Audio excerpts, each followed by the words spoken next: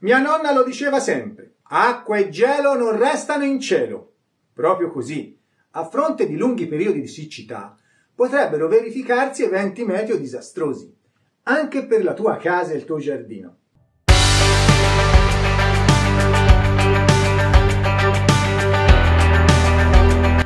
Ciao, sono Roberto, ti aiuto a realizzare e gestire il giardino in modo semplice, salutare e sostenibile il mio metodo tutela l'ambiente e va contro ogni tipo di spreco.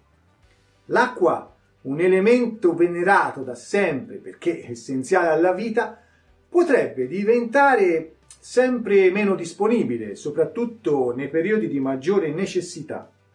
Ad oggi in certi paesi lo spreco ha raggiunto cifre a dir poco vergognose.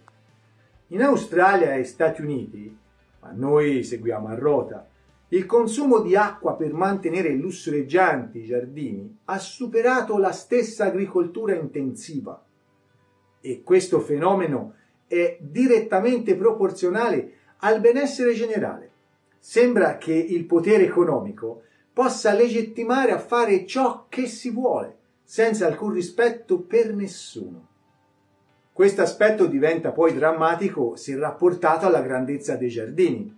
Pensa un po', più sono piccoli, maggiore è lo spreco in proporzione. È proprio assurdo, non trovi? A questo malcostume hanno contribuito anche i moderni sistemi di irrigazione automatizzati. Certo, sono comodi, e però non rendono conto dell'effettivo consumo e non si adattano mai ai bisogni effettivi delle singole piante. Per molte persone la cosa importante è che le piante sopravvivano a quale prezzo poi non è dato saperlo.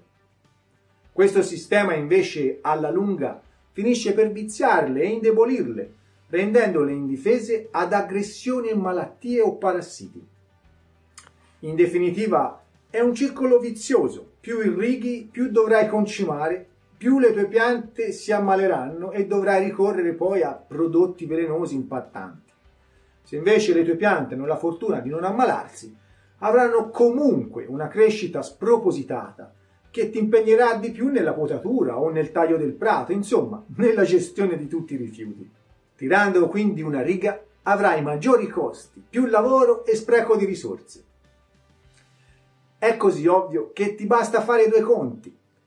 Il tuo giardino ha davvero bisogno di uniformarsi agli standard che impongono certi cliché quanto ti merita continuare a seguire queste mode così effimere?